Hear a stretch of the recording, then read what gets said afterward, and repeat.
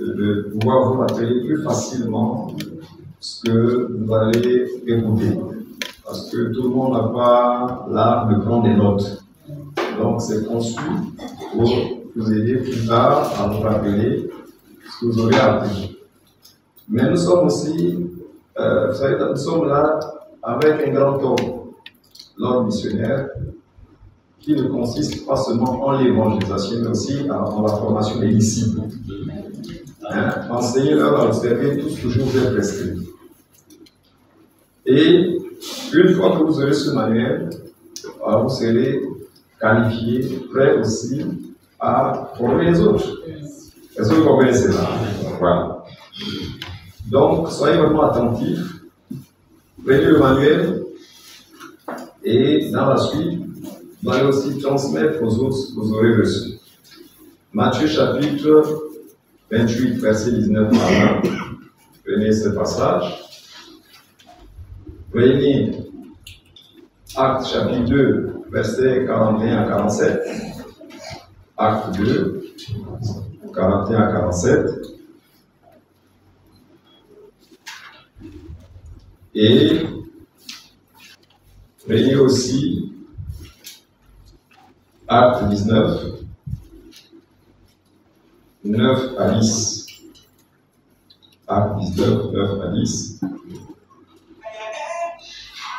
Je vais lire ce dernier passage, mais comme quelques-uns restaient endurcis et incrédules, décriant devant la multitude la voix du Seigneur, il se retira d'eux, sépara les disciples et enseigna chaque jour dans l'école des Tyrannus. C'est là qu'il y aura deux ans, de sorte que tous ceux qui habitaient l'Asie, juifs et grecs, entendu la parole du Seigneur. Donc, tous ces passages que je vous ai communiqués, euh, la pensée, c'est quoi? C'est que, voyez, les disciples doivent être formés pour l'évangélisation à cause du grand mandat. Et nous le voyons déjà dès le début de l'Église à Jérusalem, acte 2, 41 à 47. Ils persévéraient dans l'enseignement des apôtres. Et dans ce que les apôtres leur enseignaient, il y avait aussi cette responsabilité à annoncer l'évangile. Parce que Jésus avait dit, vous serez mes témoins. Donc les apôtres enseignaient aussi les chrétiens sur l'évangélisation. Et alors tous étaient impliqués à Jérusalem. Et c'est ce qui a produit cette croissance. Et dans le dernier passage, nous voyons que l'apôtre Paul, lorsqu'il arrive à Éphèse, il va trouver euh, 12 hommes qu'il va baptiser, il va prier pour eux pour qu'ils reçoivent le Saint-Esprit. Il va entrer dans la synagogue, mais dans la synagogue, il va faire face à l'opposition des Juifs.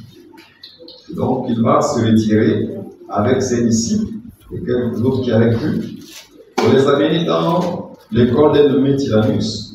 Et on dit que l'apôtre Paul leur enseignait, enseignait chaque jour. Les enseignait chaque jour. Et dans ce qu'il enseignait, il enseignait aussi l'évangélisation. Et quel avait été le résultat? Cela dura deux ans seulement. De sorte que tous ceux qui habitaient, tous ceux qui habitaient l'Asie, juifs et grecs, entendaient la parole du Seigneur. Donc il avait formé des gagnants d'âme, des gens qui par la suite se sont répandus, déployés à travers toutes les villes de l'Empire romain pour pouvoir, de l'Asie pour pouvoir annoncer l'évangile. Et c'est là le grand objectif de cette formation. C'est de vous équiper pour que, par la suite, vous puissiez vous impliquer. C'est pas que vous n'êtes pas déjà impliqué, plusieurs d'entre vous, mais ça va vous renforcer hein, dans ce que vous faites déjà pour que vous soyez plus efficace. Amen. Amen. Alors, comme on a interagiré, ceux qui ont les manuels. Bon, vraiment, le pasteur, lui, il est, il est, il est strict. Et souvent, moi, je permets à tout le monde de prendre les manuels. Souvent, je dis c'est un exercice de, de, d'honnêteté, de confiance, même si parfois certains m'ont doublé. Mais je n'aime pas trop hein, que certains aient des manuels et d'autres pas. Cependant, on va suivre ce que le pasteur a dit. Si on n'a pas de manuel, on peut écouter. En fait, comme on a passé le temps, si vous avez le manuel, ça vous permet d'aller un peu plus vite? On peut, on peut rentrer monde. Ah Avec son autorisation. Combien n'ont pas, pas reçu le manuel D'accord. Donc, promettez-nous que demain vous allez apporter vos, vos, votre argent. C'est ça, non? D'accord. Donc, allez-y d'abord avec ceux qui. euh, et puis, allez-y, donnez à ceux qui n'en ont pas. De toutes les façons, le pasteur Gislain vous connaît tous. Ou bien? Non, c'est bon. C'est bon. D'accord, ce sont les responsables. C'est 5 000 francs le manuel pour ce qui est d'arriver. Et l'attestation. Avec l'attestation. Ok. Donc, nous avons déjà lu Matthieu 28. Et nous comprenons que quand Jésus a mené ce grand mandat missionnaire, il ne s'adressait pas aux apôtres, aux évangélistes, aux pasteurs, aux docteurs, mais il s'adressait à tous ceux qui étaient ses disciples, au-delà des titres, tous ceux qui étaient simplement des disciples. Et aujourd'hui encore, ce même ordre s'adresse à nous, pas qu'aux pasteurs, pas qu'aux évangélistes, aux spécialistes. Non. Ce grand mandat missionnaire s'adresse à tous les disciples, aux chrétiens. Même si je n'aime pas tellement employer le terme chrétien, parce que tout le monde est chrétien. Mais il y a très peu de disciples aujourd'hui. Jésus a dit d'aller et de faire de toutes les nations des disciples. Mais voyez que malgré ce grand ordre-là, beaucoup de chrétiens n'ont jamais gagné ne fût-ce qu'une seule âme au Seigneur. Beaucoup n'ont pas la passion, beaucoup n'ont pas la, la bonne disposition pour aller partager l'évangile avec les autres. Et c'est un problème. Or, la volonté parfaite de Dieu, c'est que chaque chrétien soit un gagneur d'âme. C'est un atelier de formation gagneur d'âme. Dis gagneur d'âme. Gagneur d'âme. C'est très important. Jésus nous envoie pour gagner les âmes. Même si certaines d'entre elles vont s'opposer à nous. Mais l'ordre que Jésus nous a donné est un ordre qui va nous amener à gagner les âmes. Et tout ce temps que nous sommes ici ce soir, nous sommes le résultat des efforts des autres. Jésus nous a gagné à travers les efforts des autres. Donc, comprends que c'est ça vraiment la volonté de Dieu pour toi, pour chaque chrétien. Et c'est là ta véritable raison d'être ici-bas. Je l'ai dit un peu le dimanche. Qui que nous soyons dans la société, notre véritable raison d'être, c'est d'être des gagneurs d'âme pour le Seigneur. C'est ce qui justifie encore notre présence ici.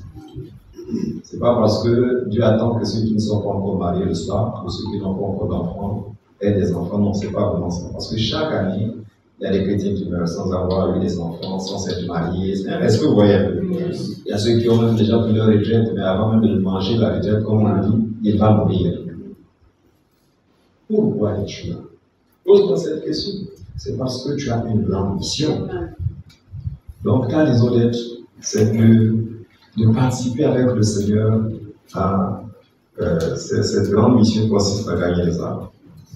C'est pourquoi, selon la page de garde, eh bien, chaque chrétien doit avoir un cœur enflammé.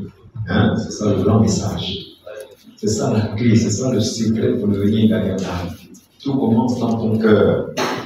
Dans ton cœur. Cœur enflammé. Et on va certainement le voir plus en détail par la suite. Mais le jour de la Pentecôte, quand le Saint-Esprit est descendu sur eux, sous la forme de feu, il s'est posé sur chacun d'eux et ils ont été enflammés. Enflammés spirituellement. À partir de ce moment, ils ont vraiment investi Jérusalem et les autres nations. Alors, nous sommes à la page 1, nous sommes en introduction, nous allons parler de l'évangélisation personnelle. Et après, nous verrons comment gagner pratiquement une âme perdue à Christ. Garder une âme sauvée au Christ. Et nous allons voir aussi deux stratégies d'évangélisation efficace. Parce qu'il faut distinguer une méthode d'évangélisation avec une stratégie d'évangélisation. Et nous allons voir. Alors, allons-y à la page 2. Chez vous, ouais, à la page 2. Comme a dit le pasteur, nous sommes là dans une salle de classe. Vous un peu le dimanche, le de réunion. C'est une formation donc euh, elle doit être interactive. Donc si tu as des questions, pose-les. Tu peux continuer aussi. Nous sommes là pour partager. Alors, l'évangélisation personnelle. Jean chapitre 4, versets 6 à 26. Jean 4, 6 à 26. Et Acte 8, 26 à 35. Acte 8, 26 à 35. L'évangélisation personnelle. Et nous avons la définition. C'est l'évangélisation qui est pratiquée par chaque chrétien ayant rencontré personnellement Jésus-Christ dans sa vie et qui partage cette bonne nouvelle avec d'autres personnes autour de lui, parmi les amis, les connaissances, les voisins, les parents, etc. Et on dit que c'est un tête à tête autour de l'évangile. Et nous voyons Jésus dans ce tête à tête autour de l'évangile avec la femme samaritaine au bord du puits. Et nous voyons Philippe l'évangéliste dans ce tête à tête autour de l'évangile avec le Nicotiopi. Et il y a beaucoup d'autres exemples. Donc, vous voyez que l'évangélisation concerne chaque chrétien. Chaque chrétien. Chaque chrétien doit être un témoin. Si tu dis tu es un chrétien, tu portes une lourde responsabilité. C'est d'être un témoin. Amen. C'est d'être un gagnant d'âme. Personne ne doit être dispensé. Et nous voyons ici un schéma. C'est une autre page. Il a un peu désorganisé la disposition. Alors, chez moi, c'est la page 2, et chez vous, c'est la page 3. Vous voyez le schéma de la maison. C'est un schéma qui illustre la tâche de l'évangélisation dans une église locale. Et nous voyons que dans une maison, qu'elle soit en construction déjà construite, il y a trois principales parties.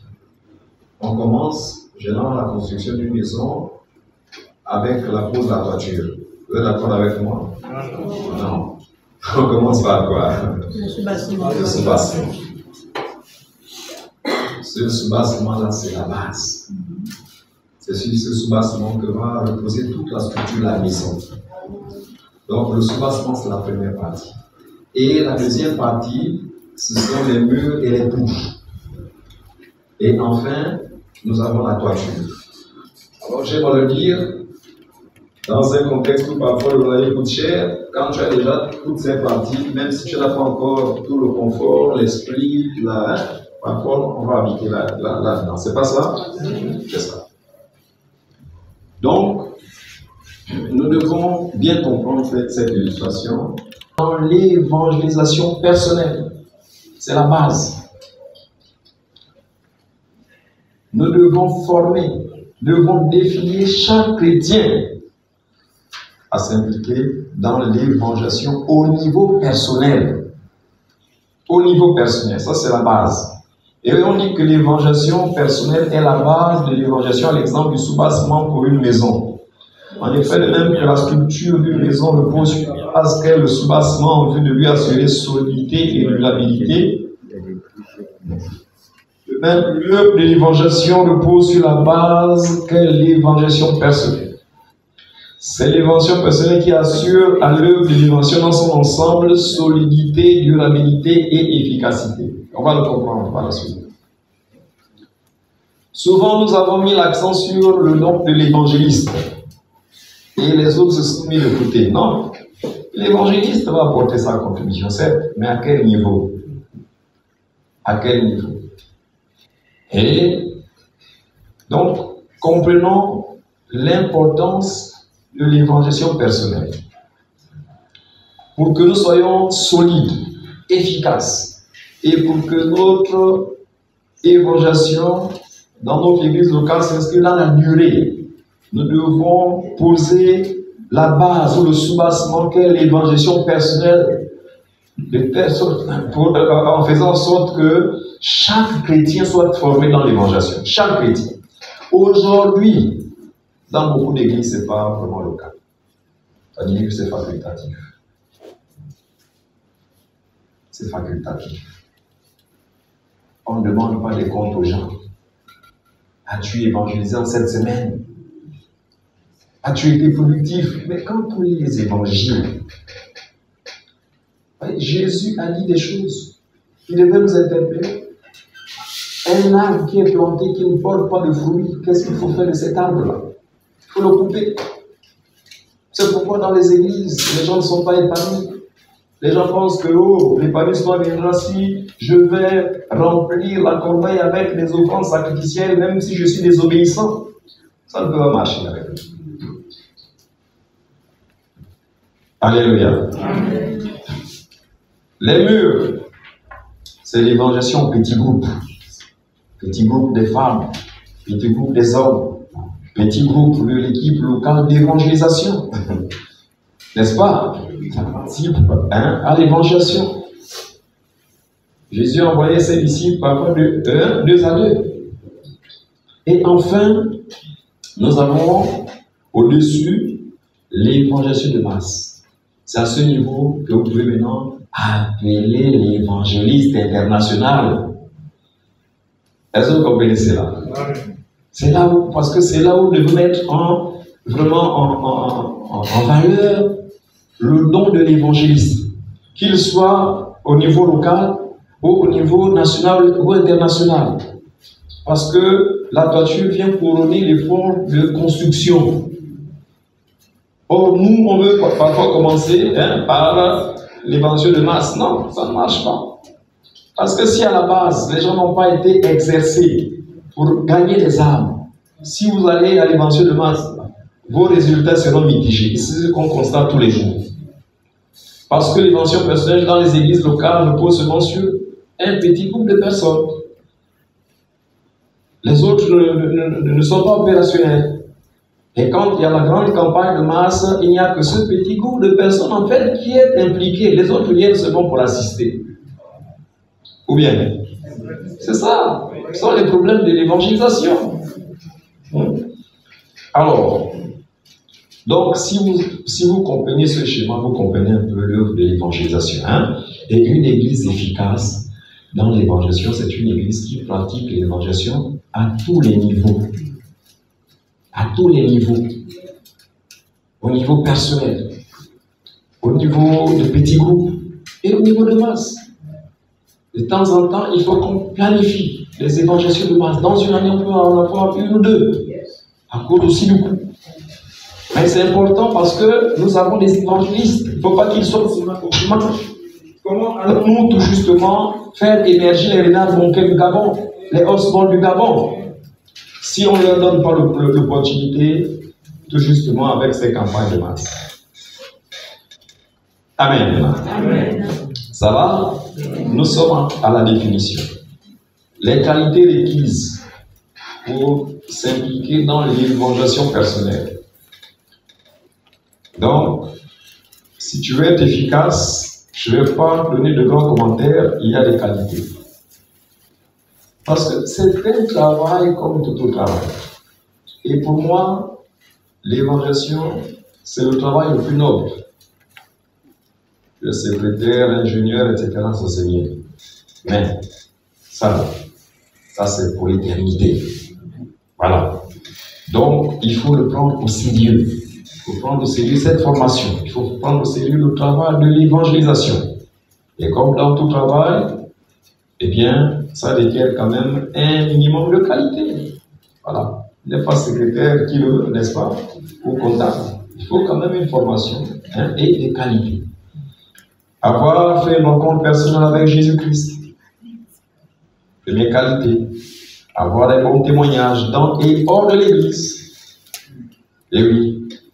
Avoir aussi une communion personnelle et régulière avec Dieu, par la prière, la méditation, la parole de Dieu, par une vie d'obéissance. C'est ce qui nous permet de maintenir cette communion avec Dieu. Être rempli du Saint-Esprit. Et oui, être rempli de sagesse. Parfois, nous ne sommes pas efficaces dans l'évangélisation, c'est parce que nous, manquons de sagesse. C'est pas que la personne est mûre, mais toi tu manques de sagesse dans ton approche, dans ton attitude. Voilà. Et il faut aussi être un serviteur des autres. Philippe, avant de devenir grand gagnant d'âme, a appris à servir. Parce qu'en fait, cette tâche-là, c'est un service. Le service, l'évangile, n'est-ce pas? Mais il faut d'abord apprendre à servir les autres dans l'église. Et oui, dans l'église locale. Tu apprends à servir. Voilà. Comme on voit notre frère là qui vient, bon. Il apprend à servir. C'est cela. Vous voyez Je disais au pasteur que quand j'étais jeune chrétien, j'ai beaucoup fréquenté l'église du Béthanie, surtout pendant les grands séminaires, etc. L'évangile biblique, pour ceux qui connaissent son témoignage, je suppose que tous vous connaissez.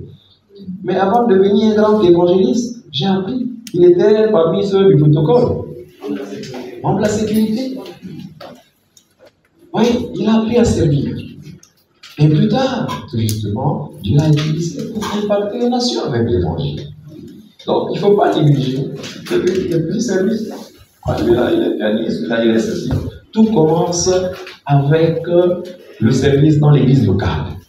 Parce que porter le salut, c'est un service. Il faut avoir un cœur de serviteur. Quand tu n'as pas un cœur de serviteur, tu as l'évangile, tu as le plateau, euh, le, plateau d'eau ou des jus de fruits avec toi, mais tu ne bouges pas. Parce que tu n'as pas un cœur de serviteur. C'est ça. Être pressé par l'amour de Christ pour les âmes perdues. Car l'amour de Christ nous presse. Et oui, ça doit être la motivation essentielle pour aller évangéliser. C'est l'amour. Car Dieu a tant aimé le monde. Doit être l'expression de cet amour. Et puis être obéissant. Alors, l'évangélisation est perdue. Et oui, ce sont des qualités que Dieu exige de nous pour que chacun de nous s'implique dans l'évangile personnelle. Allons-y à l'autre page. Bon, euh, donne-moi un manuel s'il te plaît. Le nouveau là. Le rose, non. Donc, la nécessité, hein, la nécessité. Quelqu'un peut-il me dire rapidement la nécessité de l'évangélisation?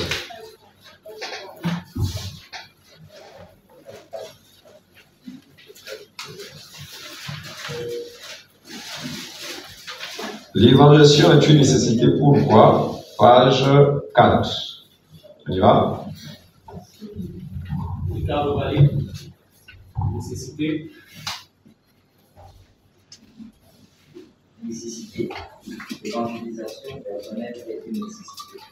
Parce que Jésus nous a donné l'ordre d'évangéliser. Voilà.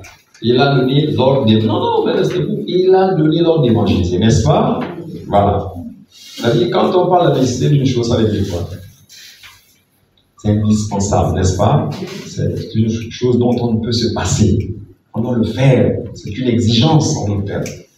Oui, deuxièmement, Parce que c'est le moyen le plus efficace pour la croissance numérique d'une église. locale. Parfois, on pense que c'est la campagne de masse. Non. Parce que la campagne de masse, vous ne pourrez. euh, Actuellement, il n'y aura pas d'église qui pourra organiser une campagne de masse chaque mois. Ce n'est pas possible à cause du coût. Parce qu'à côté de l'évangélisation, il y a aussi l'édification. Mais chaque jour, le Seigneur ajoutait à l'église ceux qui étaient sauvés parce que chaque jour, chaque chrétien à Jérusalem était engagé dans l'évangile personnelle. Vous comprenez? Donc, c'est c'est vraiment le moyen de croissance numérique par excellence. C'est le plus efficace. Voyez? Si nous voulons que cette église locale grandisse, on va voir, on va voir une stratégie. Rassurez-vous. Où chacun de vous sera vraiment impliqué. Vas-y, mon frère.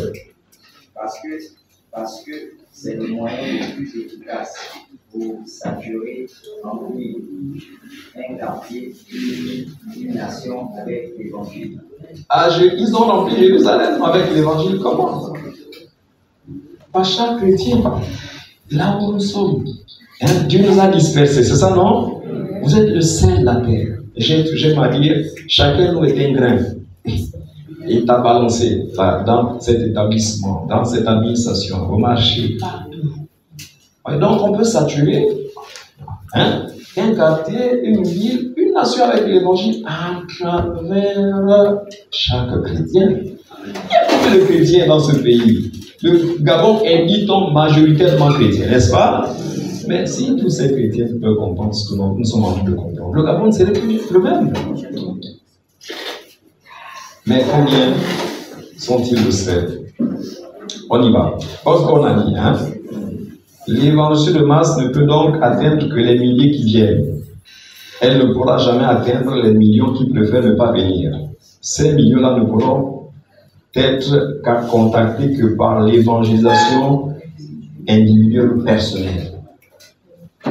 Donc on peut saturer. Une personne, pour lire la suite. D. Parce que les hommes sont spirituellement perdus et séparés de Dieu. Mhm. Voilà. C'est pourquoi il nous faut nous engager dans l'évention personnelle. Vas-y. Ton, ton voisin qui ne connaît pas encore Christ est perdu et séparé de Dieu. Vas-y. Parce que les hommes ont le vif désir d'entendre et de comprendre la solution à leurs problèmes. Nous sommes dans un monde de problèmes. Mais où est la solution, n'est-ce pas? Voilà. Et la solution est dans l'évangile. Vas-y. Parce que c'est le moyen par lequel les âmes perdues peuvent entendre l'évangile de leur salut éternel et de la transformation de leur vie? Et Eh oui, c'est pourquoi Paul n'avait pas honte de l'évangile. La puissance de Dieu pour le salut éternel. La puissance de Dieu pour transformer la vie. On l'a vu dimanche. Oui, parce que c'est la plus grande démonstration d'amour des âmes on peut dire aux autres que nous les aimons, mais si nous leur apportons pas l'évangile à travers notre engagement dans l'évangile personnelle, en fait, on les aime pas. On vote pour leur perdition. C'est pas ça? Voilà. Donc, quelle est ma plus, grande preuve d'amour pour les? Mais C'est parce que je suis engagé à leur annoncer cet évangile de Jésus-Christ.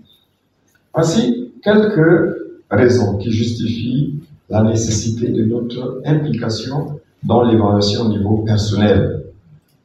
Personnel. Parce que beaucoup dans nos églises se cachent derrière les autres. Non, tu dois t'engager personnellement. Parce que tu es un chrétien, n'est-ce pas? Chez vous, méditez sur l'application personnelle. Quelles sont les raisons ou peut-être que tu avances pour, ou que tu évoques pour ne pas évangéliser? Voilà, donc tu vas lire et qu'est-ce qui, qu'est-ce qui peut te pousser à évangéliser? Et si on voit il y a quelques mauvaises motivations, lis aussi et voir ce qui s'applique à toi et corrige cela avec le Seigneur. Donc il faut lire. Alors nous allons aller maintenant aux méthodes d'évangélisation. Méthode d'évangélisation, c'est le cœur un peu de euh, cette euh, session. Une méthode, c'est quoi? C'est une manière, c'est une technique qui nous permet de présenter l'évangile hein, de manière simple et aussi efficace. Euh, étant entendu que la méthode de Dieu, c'est chacun de nous. Alors, moi, je cherche souvent les meilleures méthodes, mais Dieu cherche les meilleurs hommes, parce que ce sont les hommes qui sont la méthode de Dieu. Ce sont les hommes qui sont la stratégie de Dieu pour l'annonce de l'évangile. Alors, la première méthode, c'est la méthode de l'évangile, euh, du témoignage personnel de la rencontre avec Christ. Alors, Acte 1.8 dit quoi? Acte 1.8. Mais vous recevrez une puissance. Le Saint-Esprit sur sur vous. Et vous savez quoi? Mes témoins. Vous serez mes témoins. Il a dit vous serez mes évangélistes Non. Il a dit vous serez mes témoins. L'évangéliste, c'est un don. Et nous avons des dons différents. C'est pourquoi en Éphésiens chapitre 4, verset 11, on parle des apôtres, des prophètes, des évangélistes, etc. Pour être un évangéliste, il faut avoir reçu un appel particulier. Cependant, le fait que chacun nous ait reçu ou rencontré Jésus-Christ un jour dans sa vie le qualifie pour être un témoin. Est-ce que tu comprends ça Amen. Témoin de quoi? Mais témoin de ta rencontre avec Jésus. Cette rencontre qui a bouleversé ta vie. Si tel est le cas, c'est de cela dont tu vas être un témoin. Témoin aussi de tous les autres bienfaits, mais il faut d'abord témoigner de ta rencontre personnelle avec le Christ. Et c'est la méthode que les premiers disciples ou les premiers croyants ont utilisée pour annoncer la bonne nouvelle de Jésus-Christ aux autres. Les premiers disciples étaient avant tout les témoins de Jésus-Christ. Marie, mère de Jésus, n'était pas certainement une bonne prédicatrice. Mais si nous avons l'histoire de l'ange qui est venu à elle, c'est c'est- c'est parce qu'elle l'a raconté. Qui était avec elle quand l'ange était arrivé Personne, n'est-ce pas? Donc, elle a reçu le Saint-Esprit cette pour raconter cette histoire aussi. Dites Amen. C'est ça. Et de comment elle aussi? Parce qu'après, elle a eu des doutes. hein? Comment elle aussi s'est convertie? Le fait qu'elle ait mis Jésus au monde là, ne la qualifiait pas pour aller dans l'éternité avec Dieu. C'est pas, pas facile, mais il faut lire les évangiles. Un jour, elles, sont, elles, sont, venues- elle est venue avec les autres enfants. Mais, lui là qui prêche, mais c'est mon fils. Et, et qu'a-t-il répondu Qui est ma mère Qui sont mes frères, n'est-ce pas? Qui? Ceux qui font la volonté de Dieu, non? Donc, si toi, Marie, qui m'a mis au monde, si tu ne fais pas la volonté de Dieu, tu n'es pas ma mère. C'est comme ça, tu es perdu. Donc, voyez, la femme samaritaine. Elle a, elle a, après sa rencontre avec Jésus, elle allait raconter aux autres, non? Voilà. Le démoniaque de Gadara, après avoir été délivré, Jésus a dit, va et raconte.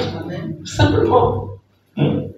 Et l'apôtre Paul, on va le voir plus en détail, acte 22, à Jérusalem, il n'a pas prêché un grand message d'évangélisation à ses compatriotes juifs.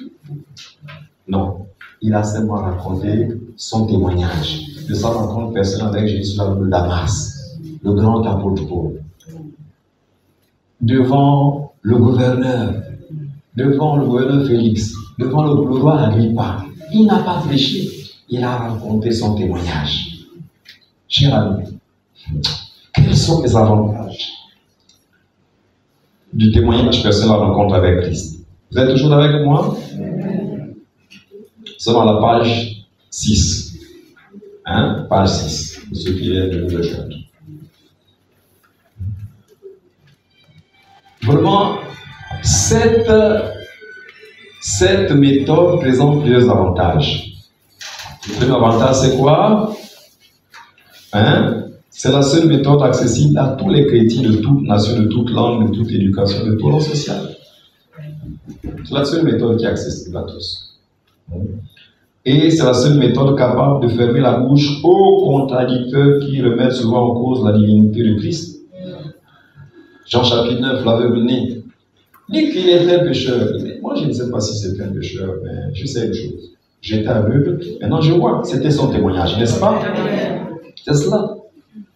Les gens disent, mais Jésus, c'est pas le Fils de Dieu, mais Jésus, c'est ceci, Jésus, c'est cela. Non, ne paniquez pas. N'allez pas sur le terrain si vous n'êtes pas calé. C'est pourquoi les témoins de Jéhovah, etc., réussissent à prendre quelques brebis. Parce que, et sur le débat, le terrain du débat théologique. Non. Jésus est témoin sur le terrain n'est-ce pas Et raconte comment tu as rencontré Jésus, comment est-ce qu'il a changé ta vie? Et pose aussi la question. Va venir à aussi poser sa question. Maintenant, est-ce que Dieu peut exaucer un pécheur? Donc maintenant, telle qu'était ma vie, est-ce qu'un prophète ou un simple homme peut le faire? Et vous allez voir que les gens auront la bouche fermée. Parce qu'il n'y a que Dieu seul pour changer un cœur. Mais c'est quand j'ai reçu ce Jésus-là que mon cœur a changé, n'est-ce pas? Donc si c'est Jésus qui a changé mon cœur, donc Jésus est qui? Que plus tard, Jésus a posé la question à la venez, crois-tu au Fils de Dieu?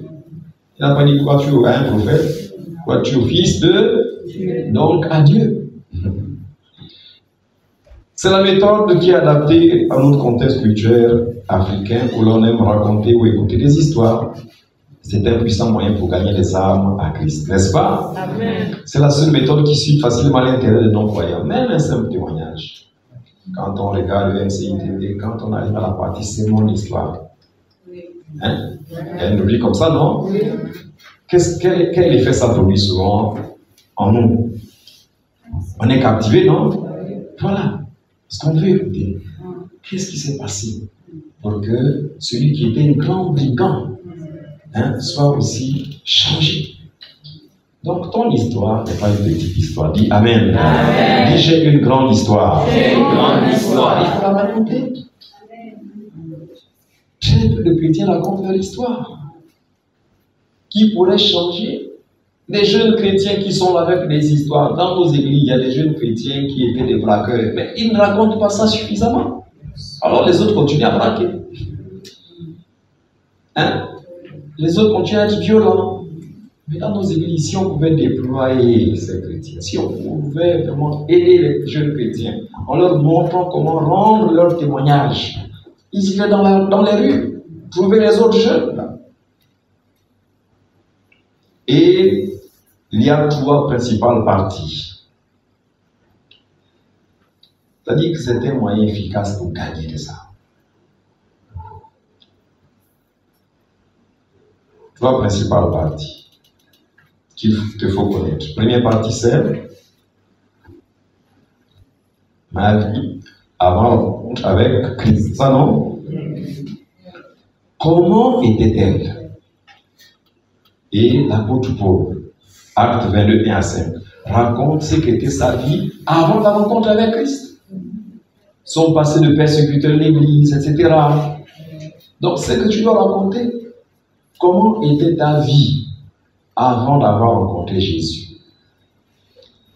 Il faut que tu le dises aux autres, en fonction du temps.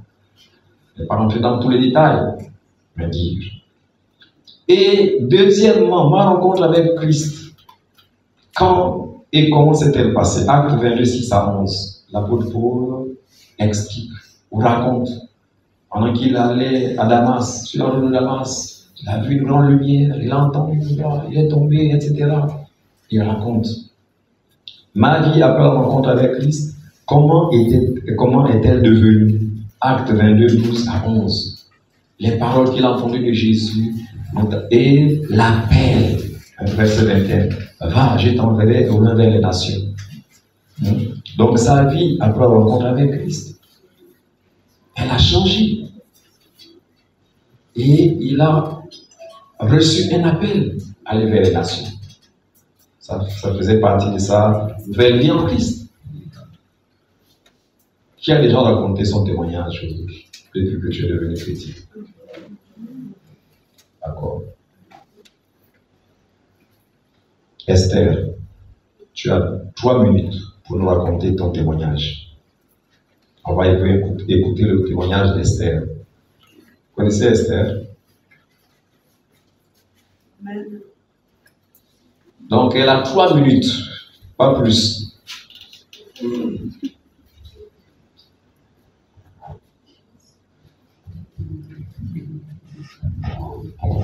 Shalom à tous. Euh, je m'appelle Esther Boumi. Donc, euh, j'ai rencontré le Seigneur, sinon j'ai accepté Jésus-Christ comme Seigneur et Sauveur en août 2000 2003. Et j'étais en vacances. Et puis, euh, on va dire qu'avant cette date-là, sinon avant cette année-là, au courant de, on va dire à l'âge de 11 ans, 12 ans, jusqu'à l'âge de 16 ans, j'étais euh, quelqu'un de très maladive. J'étais, euh, on va dire que les maladies étaient euh, pas d'origine euh, physique, hein, parce qu'on allait à l'hôpital, on faisait des examens, on ne voyait rien. Mais tout ça a commencé lorsque j'ai commencé à être victime de l'attouchement sexuel de la part de mon père. Donc, je devais avoir euh, 12 ans, vraiment 12 ans après mes premières règles comme ça. Donc, c'est quelque chose qui a, qui, a pris 6 ans, donc jusqu'à l'âge de, de 17 ans. Je vivais avec mon père et c'était devenu un peu mon quotidien, des attouchements sexuels euh, de part et d'autre, vraiment en tout temps, en tout lieu.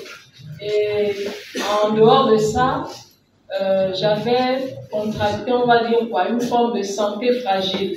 J'étais émotionnellement fragile, j'étais, j'avais euh, voilà, des problèmes de santé, neurologiques, même cardiaques et tout ça. Vraiment, j'étais instable, ce qui faisait que en 2003, euh, mon année scolaire, j'étais en classe de troisième, et puis là, euh, je faisais deux semaines à la maison, deux semaines au lycée, deux semaines à la maison, deux semaines au lycée. Et j'étais vraiment quelqu'un de, de très renfermé parce que je vivais des choses que je ne pouvais pas raconter aux gens. Parce que dans le secret, mon père me disait, si je raconte ça, les gens ne vont pas le croire et puis c'est moi qui vais de la riser et tout et tout. Et que ça va briser la famille, donc il fallait que je garde cela secret. Et vraiment, c'était un secret qui me faisait lourd. Et en 2003, euh, j'appelle ça un coup de chance, parce qu'on m'avait interdit, mon père m'interdisait de voir, euh, de voir ma mère, donc ça devait faire 8 ans que je n'avais plus eu de contact avec ma mère. Donc cette année-là, c'était un miracle. Et puis il m'a dit, bon, tu peux aller en vacances, mais tu vas faire deux jours chez ta mère, après je viens te chercher et puis on va, on va au village. Mais dans ma tête, il n'était plus question pour moi de revenir chez lui, donc j'avais pris toutes mes affaires, je suis partie. Et lorsque j'arrive, disons que y a des, ma grand-mère voyait des choses, hein, parce qu'elle elle était, je sais pas comment dire, mais elle avait une vision assez large de certaines choses. Elle voyait que j'étais trop renfermée, je ne vais pas être avec les autres. Et puis elle a senti des choses. Et puis elle me parlait, est-ce qu'on t'a fait des choses? Mais je n'arrivais pas à dire parce que c'est quelque chose qui était resté comme dans ma conscience. Il fallait pas que je le dise, sinon il devait avoir des problèmes, la famille allait être brisée. Ça aurait été de ma faute. Donc j'ai gardé ça. Et puis un jour, du mois d'août, je pense après le 17 août, un dimanche, je suis allée au culte. Et puis là, il y a un ancien qui prêchait sur l'amour de Dieu. Il parlait du fait que Dieu était un père, vraiment un père aimant. Alors que moi, depuis plusieurs années déjà, le rapport partenaire était brisé dans mon cœur parce que pour moi, mon père, ce qu'il me faisait n'était pas normal. Donc, du coup, la notion de paternité n'avait plus un sens dans mon cœur, dans ma conscience. Et donc, ce jour-là, je me suis levée. Lorsqu'on a demandé aux gens qui voulaient accepter le Seigneur, je me suis levée et j'ai accepté le Seigneur. Et véritablement, dans mon cœur, à cet instant-là, sinon depuis plusieurs années déjà, je nourrissais vraiment une grande haine vis-à-vis de mon père. Une haine, j'ai envie de dire meurtrière, parce que des fois je priais, je disais si Dieu pouvait en finir avec sa vie, parce que je, je, j'étais conscient de ce qu'il avait fait et qu'il avait détruit la mienne. Donc le temps est passé, je suis restée vraiment avec, toujours en ayant accepté le Seigneur, mais toujours avec cet état d'esprit-là de haine et tout. Et puis un jour, toujours en allant à l'église, euh, au fur et à mesure que j'y allais, il y arrivait cette transformation-là dans mon cœur de manifester l'amour vis-à-vis de mon père parce que c'était comme le gros poids qui pesait dans mon cœur. De l'aimer, mais vraiment il était impossible pour moi de manifester l'amour à mon père. Et puis le temps passait, plus je commençais à prier moi-même afin que Dieu puisse m'aider à pouvoir aimer mon père et à comprendre que peut-être qu'il n'a pas fait de lui-même, peut-être c'est l'ennemi qui l'a utilisé parce que c'est quelqu'un qui, était dans, les, dans son monde à lui. Et puis, à ce moment-là, le Seigneur a mis dans mon cœur cet amour-là qui ne pouvait pas exister. Il a injecté comme cet amour-là dans mon cœur et soudainement, peut-être après trois ans de conversion, j'ai commencé à prier pour mon père. J'ai commencé à verser des larmes lorsque je priais pour lui, pour son salut. Et des fois, je me retournais et puis je, ne comprenais pas pourquoi est-ce que cela arrivait. Comment est-ce que je peux prier pour lui? Et le jour qui suivait, je disais encore, Seigneur, vraiment, euh, si, tu pouvais arracher sa vie. Mais c'est quelque chose qui a pris du temps. Mais Dieu a su installer l'amour dans mon cœur que je puisse prier pour le salut de mon père. Et vraiment, les transformations qui sont arrivées après ma rencontre avec le Christ, c'est que j'ai été restaurée dans ma santé. Je, ne suis plus jamais tombée malade. Je n'ai plus jamais été hospitalisée. J'ai, exemple, là, maman Gisèle qui est là, on se connaît depuis 2004. Donc, euh, je n'ai plus jamais été internée pour cause de maladie euh, non médicale. J'ai envie de dire ça comme ça, parce qu'après examen, on ne, on ne trouvait jamais. Et le Seigneur a su restaurer vraiment cet amour-là dans mon cœur au point où je suis devenue un peu la seule, mais qui a la capacité, sinon le cœur, pour prier pour le salut de mon Père jusqu'aujourd'hui. Voilà un peu ce que le Seigneur a pu faire. Amen. Merci. Ok. Donc, vous voyez, dans un témoignage, il y a trois principales parties, n'est-ce pas?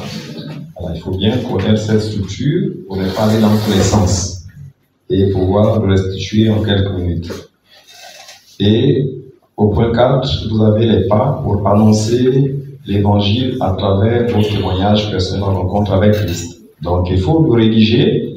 Et pour cela, sur votre page, vous avez euh, un modèle, n'est-ce pas? Voilà. Il a un peu désorganisé cela. Cependant, vous pourriez tout justement peut-être saisir une, euh, voilà, saisir ce qui est là et sur une seule page, vous avez, vous allez rédiger vos témoignages, l'apprendre par cœur, en lisant à vos enfants chrétiens et aussi trouver des occasions de raconter en respectant les trois parties. Ça, c'est très important.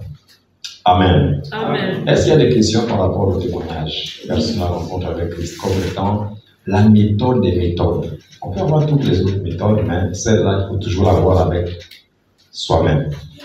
Donc, quand tu as ton témoignage, où que tu sois, tu peux raconter ça. Trouver une occasion. Est-ce qu'il y a des questions?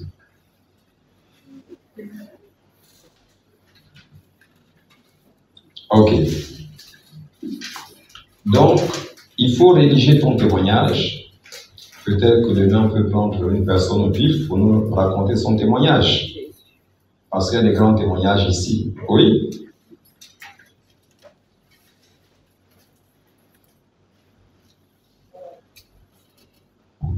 J'ai fait un constat, c'est que beaucoup de chrétiens ont du mal justement à raconter leurs témoignages. Mhm. On, trouve, on, on cons- on voit beaucoup de chrétiens avoir honte de parler de leurs témoignages. Comment on peut expliquer euh, une telle attitude? Ok. Il y a plusieurs euh, raisons ou causes. Dans nos églises, parfois ce qu'on appelle les chrétiens ne le sont pas. Hein? Ça, c'est déjà un problème. Tout le monde est chrétien aujourd'hui.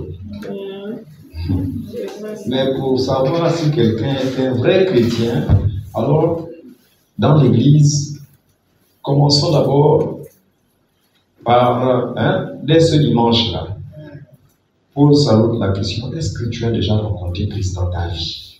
Si la personne dit oui, dis, est-ce que tu peux me raconter ton témoignage? Hein? Et puis, deuxièmement, voyez, les soldats, on les entraîne pour la guerre. Est-ce que nous nous entraînons, nos chrétiens, pour raconter leur témoignage dans nos églises aujourd'hui? Est-ce que nous les entraînons Ça, c'est aussi un problème. On n'entraîne pas nos chrétiens. Et puis, il y a aussi des chrétiens, mais qui nous intéressent aux choses spirituelles, Euh, telles que la prière. Parce qu'il faut tout cela pour se préparer à aller témoigner. Et si quelqu'un chrétien n'a pas de vie de prière, c'est un problème, n'est-ce pas? Et puis, c'est quand on est connecté à Dieu que finalement, on peut aussi faire l'expérience du baptême du Saint-Esprit. Ce n'est pas une œuvre humaine là. Donc, si tu n'as pas fait cette expérience, tu seras toujours en proie au doute, à la peur, aux inquiétudes, et ça va t'empêcher justement de faire l'œuvre d'évangélisation.